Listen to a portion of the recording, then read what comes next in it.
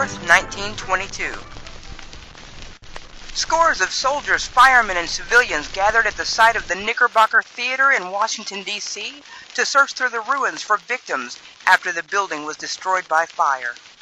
Miss Helen Vickery, a nurse of Schenectady, New York, broke her neck while combing her hair. She quickly tossed her head to the side to unravel a tangle caught in the comb and fell paralyzed. She is in critical condition. Air Service wants men who know how to drive or repair motorcycles. These men are needed immediately for all sorts of dispatch and emergency work overseas. Cornelius Cole, the Civil War congressman from California, is the last surviving member of the government of Lincoln's day. He is now enjoying life at the age of 100.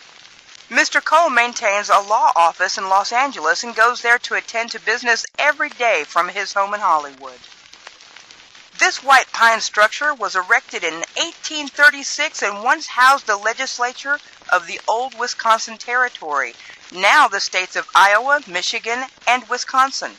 It is located at Belmont, Wisconsin, and is being preserved by a special act of the present Wisconsin legislature. Wilfred L. Guerin of New Orleans has invented a seat signal. Now, ushers can flash a signal to waiting patrons without returning to the rear of the theater. The usher stands in the aisle opposite the vacancy and flashes a signal.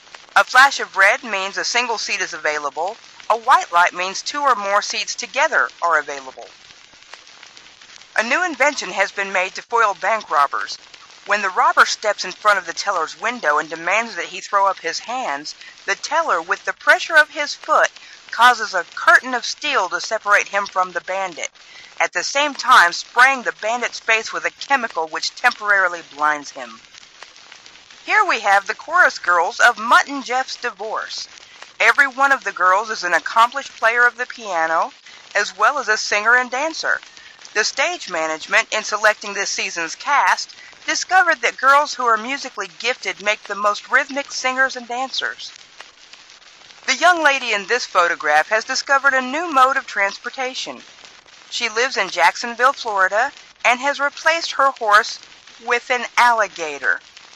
She never fails to grab the attention of onlookers. The school officials at Newark, New Jersey are enraged by the modern trend of girls rolling their stockings down.